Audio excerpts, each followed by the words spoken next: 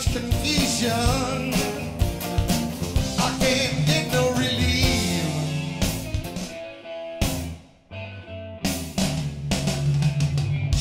Johnny was a schoolboy when he heard his first Beatles song.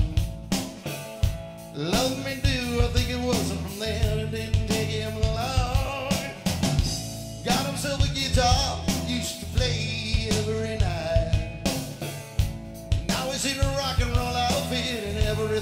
our